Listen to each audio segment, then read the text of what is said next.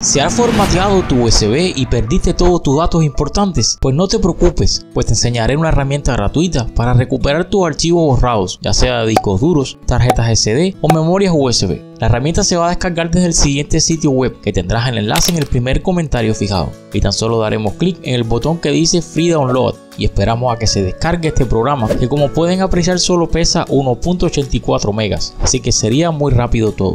Una vez descargado descumplimos el contenido en una carpeta y luego vamos a ejecutar la aplicación como administrador.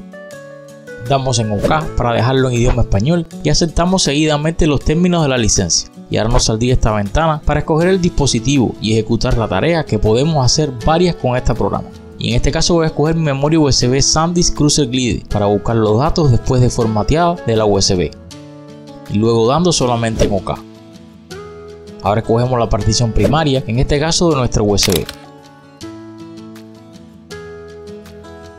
Luego bajamos a lo último y daremos clic en escaneo total se nos abrirá esta ventana para seleccionar el formato en que está el dispositivo y este USB estaba en NTFS cuando fue formateada, así que dejaré en NTFS, pero en su caso puede ser FAT32 y al final daré en el botón de escanear y veríamos en la zona inferior el porciento de progreso que al ser de 32 GB de esta USB en este caso demoraría bastante. Al finalizar nos dice que si deseamos guardar un log del escaneo y si desean pueden hacerlo. Ahora pueden escoger la recuperación por tipo de archivo o indagando en los volúmenes con posibles archivos a recuperar. En este caso nos arrojó cuatro volúmenes. Vamos a entrar en uno dando clic derecho y escogiendo la opción abrir volumen. Y nos saldría un directorio con carpetas donde exploraríamos hasta encontrar los posibles archivos eliminados.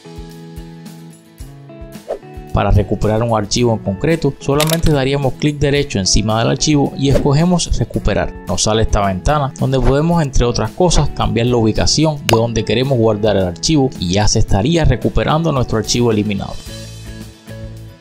En nuestro caso lo he puesto en la misma carpeta que descomprimimos del programa, así que ya queda por ti que lo pruebes y me cuentes en la caja de comentarios los resultados obtenidos. Y recuerda que te dejaré el enlace a la web del programa en el primer comentario fijado.